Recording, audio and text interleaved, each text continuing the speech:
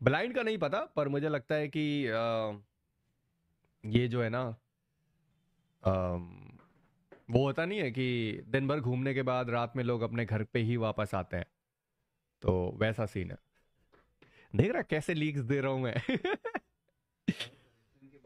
Soul leaks soul leaks अरे, तुम लोग को बोला तो यार, घूम फिर के लोग घर पे वापस आते हैं।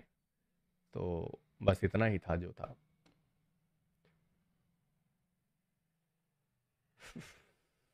और तुम लोग इतना ज़्यादा वो क्यों हो जाते हो? क्या बोलते हो उसको? आ, इतना ज़्यादा हाइप क्यों हो जाते हो अगर किसी टीम में चेंजेस होते हैं या जो भी होते हैं?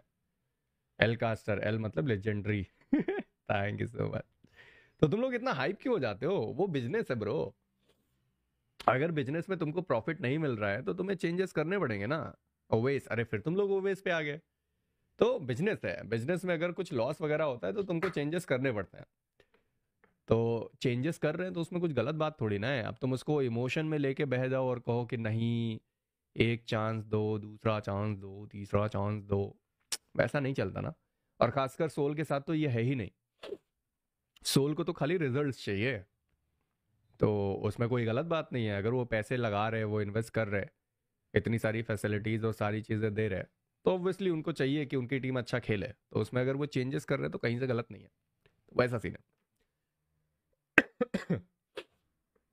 तुम ये सोचो, उन्होंने अपनी जो ऑडियंस के हिसाब से सबसे बेस्ट व्यूवरशिप देने वाली लाइनअप थी, वो उन्होंने हटा दी।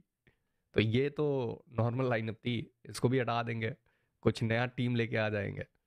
वैसा है बिज़नेस में ये सब चलता रहता है, इसमें तुम इमोशंस और ये बाकी सारी चीज़ें लेके मत आया करो, चलेगा। टी एक्स पुकार का आ गया, देखा मैंने आ गया भाई, देखा क्या किया जाए।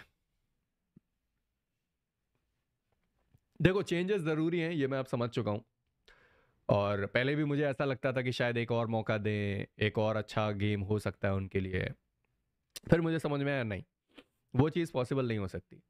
टीम सोल पिछला बीएमपीएस जीती आ, उसके बाद से थर्ड पार्टीज़ इवेंट्स खेले सारी चीज़ें हुई। बी में क्वालिफाई नहीं हुए आई में मौका नहीं मिला। बीएमपीएस में क्वालिफाई हुए फिर दो दिन उनके बहुत ही ख़राब रहे।